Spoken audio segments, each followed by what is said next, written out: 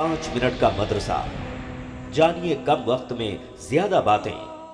असलकम वरहमतुल्लाहि वबरकातुहू। मैं अपने तमाम भाइयों और बहनों का इस्तकबाल करता हूँ हमारे आज के पाँच मिनट के मदरसे में। ये हमारी रमज़ान स्पेशल सीरीज़ चल रही है।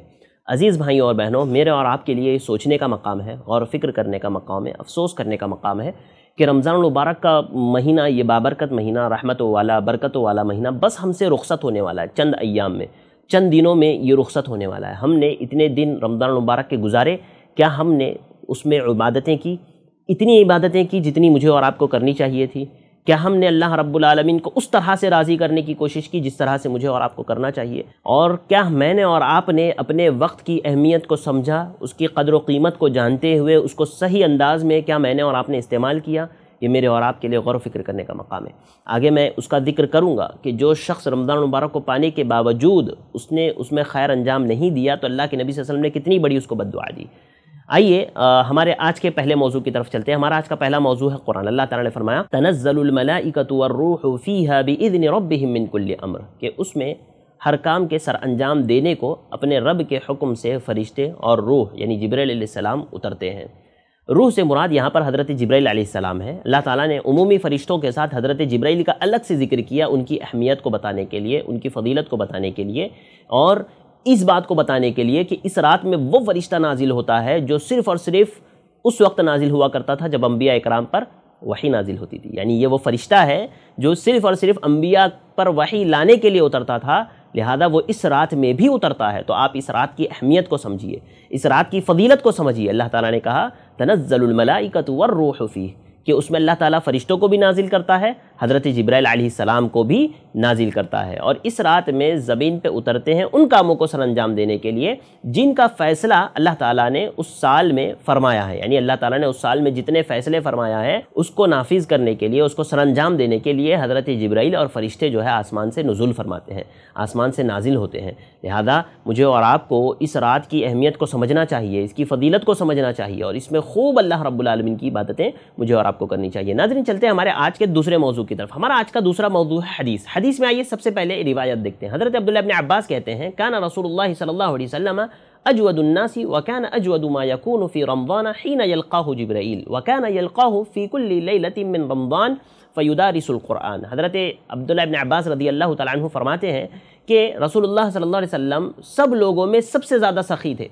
सबसे ज़्यादा जवाद थे अल्लाह के नबी से सबसे ज़्यादा सखावत करने वाले थे। अल्लाह की राह में माल खर्च करने वाले थे। और रमज़ान में आपकी सखावत और बढ़ जाती थी। कहते हैं, आम दिनों के मुकाबले में प्यारे नबी सल्लल्लाहु अलैहि वसल्लम की सखावत रमज़ान में और बढ़ जाती थी। आप अल्लाह के नबी की सखावत का उस हदीस से अंदाज़ा लगाइए। अल्लाह के नबी सल्लल्लाहु अलैहि वसल्लम कराम को नमाज़ पढ़ा रहे थे। जैसे ही नमाज़ ख़त्म किया आप सल्लल्लाहु अलैहि वसल्लम, फ़ौरन आप अपने हुजरे की तरफ़ दौड़े। सहाबा कराम देख करके हैरान के प्यारे नबी सल्लल्लाहु अलैहि वसल्लम ने ऐसा क्यों किया? आपने पहले कभी ऐसा नहीं किया कि आप नमाज़ ख़त्म करते ही फ़ौरन अपने हजरे की तरफ़ निकल गए? आप अलैहि वसल्लम जब हजरे से वापस बाहर निकले तो साहबा कराम के चेहरे पर जो परेशानी थी, आपने उसको देख करके समझ लिया कि ये लोग कुछ परेशान हैं। साहबा से पूछा तो साहबा ने कहा कि अल्लाह के नबी वसल्लम, आपने वो अमल किया है जो इससे पहले कभी नहीं किया था? आप अलैहि वसल्लम ने फरमाया कि मेरे पास एक माल था, अपने घर में रखा हुआ एक माल था। मुझे उस माल की याद आ गई कि वो मेरे घर में रखा हुआ है सोना। लिहाजा मैंने इस बात को पसंद नहीं किया कि वो सोना मेरे पास रहे और मैं एक शाम या एक रात गुजारूँ। मैं एक शाम या एक रात गुजारूँ। लिहाजा मैंने उसको जो है लोगों में तकसीम करने के लिए मैंने उसको दे दिया। अल्लाह अकबर। आप देखें, अल्लाह के नबी वसल्लम की सखावत ये आम दिनों का मामला है। तो सोचिए रमज़ान मुबारक में आप सल्लल्लाहु अलैहि वसल्लम की सखावत का क्या हाल होगा? तो आप वसल्लम की सखावत बढ़ जाया करती थी। और जब हज़रत जब्राईल से मिलते अल्लाह के नबी वसल्लम तो आपकी सखावत और ज़्यादा बढ़ जाती। और क्या कहा रावी हदीस हज़रत अब्दुल्ला अब्बास ने कि वकान यलक़ाहू फ़ी कुल्ली लैलतिन रमज़ान, के हज़रत जब्राईल से अल्लाह के नबी वसल्लम रमज़ान की हर रात में मुलाकात करते। हैं हर रात में अल्लाह के नबी वसल्लम की सखावत बढ़ जाती। लिहाजा आप ज़्यादा से ज़्यादा अल्लाह की राह में सदका व खैरात करते। लिहाजा अज़ीज़ भाइयों, मेरी माओ बहनों, मुझे और आपको जो रमज़ान के बचे हुए अयाम है, इसको गनीमत जानते हुए ज़्यादा से ज़्यादा सदका व खैरात करनी चाहिए। जितना आप कर सकते हैं, करिए। ये वही, यानी देखिए, एक इंसान जो खाता है, पीता है, वो तो इंसान ज़ाय कर देता है। उसने अपने लिए इस्तेमाल नहीं किया। इंसान ने अपने लिए उस माल को इस्तेमाल किया, जिसको उसने सदका किया। जिसको उसने खैरात किया, जिसको उसने सदक़े में दिया, वो माल असल उसने अपने लिए इस्तेमाल किया। खा पी करके जो हज़म कर लिया, वो अपने लिए इस्तेमाल नहीं किया, वो तो ख़त्म हो गया। हाँ लिहाजा मुझे और आपको चाहिए कि हम ज़्यादा से ज़्यादा सदका व खैरात करें। हती कि इसी रिवायत में हज़रत अब्दुल्ला अब्बास कहते हैं कि अल्लाह के नबी वसल्लम की सखावत का क्या हाल होता पता है आपको? अजवद बिल खैरी मिन रेहल मुरसला। कहते हैं कि तेज़ तुंद आंधी जो होती है ना, उससे भी ज़्यादा अल्लाह के नबी वसल्लम ज़्यादा सखी हो जाते थे। यानी तेज़ तुंद आंधी से भी ज़्यादा प्यारे नबी वसल्लम सखी हो जाते थे। लिहाजा जितने अयाम बचे हैं, आप उसमें कोशिश करें किसी गरीब की, मिसकीन की मदद करें।